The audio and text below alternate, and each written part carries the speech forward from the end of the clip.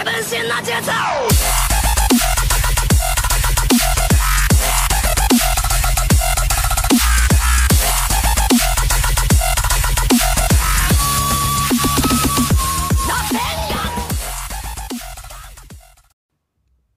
what's up guys? Indian Sensei here. Welcome back to another episode of Ninja Voltage.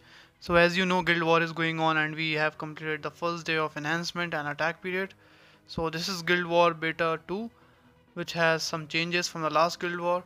So today in this video, I'm gonna show you 8 things that have changed or introduced since the last Guild War. So first of all, multiple magic flutes. So last Guild War, we could only have like one defense melody and one attack melody and we used to get these magic flutes from attacking the attack drops from the guild we used to get those flutes from there but now we can have more than one flutes we can have like 10 defense melody and 10 attack melody and we get these from enhancement drops not from the attack drops. So even if your fortress is fully enhanced keep playing during the enhancement period for the coming days so that your flute stock gets filled after attack period. Second is enhancement drop decreased. I don't know, but I have seen that the tactician scroll drop rates have been decreased from the past guild wars. I mean, previous guild war we used to get like a lot of gold treasure boxes, silver treasure box, but now it's the rarity is very low. So we are now getting a lot less tactician scrolls as we used to get in the last guild war. So maybe Bandai has reduced the drop rates on those. So third, we have new items for enhancement period. Tsunade's necklace and crimson four leaf clover. So you can read the description in the notice. So these were present in the first guild war but we had like zero quantity and no drops for these. But now they can be obtained from guild attack item drops but we can only have like one each for both of them. Fourth, we have new guild fortress installation anti shinobi horse cannon 2.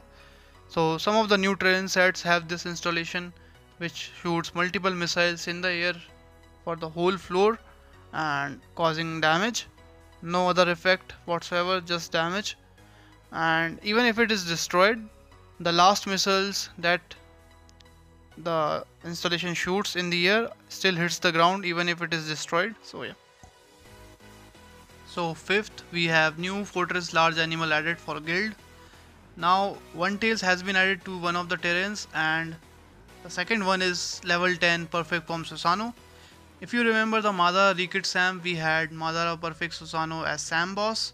It's the same one with very high stats and same attack patterns as Sam. It's very good and it's highly recommended that you use this in your guild fortress. As you can see, it does a huge amount of damage and consumes a lot of time.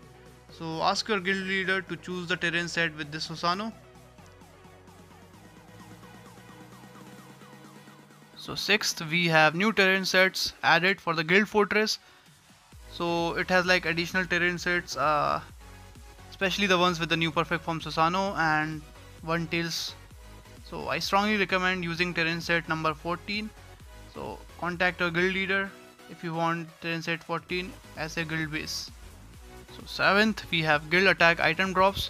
If you remember we used to get like 4 or 5 item drops in the previous guild war which had some chakra, Ryo, magic flutes, etc. So this time we have like 50 or 40 item drops from the guild attack and it also has fortress medals, ability points, factory medals, Ryo, chakra and the new Tsunade necklace and crimson 4 leaf clover. So 8th we have new special boosted shinobis. So these change every enhancement day. This time we have Madara, Kabuto, EMS, Rinne Sharingan and Indra previous enhancement day we had Hashirama, KLM, Edo Minato, Sixpath, Naruto and Ashura. So these were the new things and additions in the Guild War Beta version 2. I hope I covered everything. If I forgot something, comment down below. If you are new to the channel, do subscribe and hit that bell icon. Follow my social medias, links in description. I will see you next time.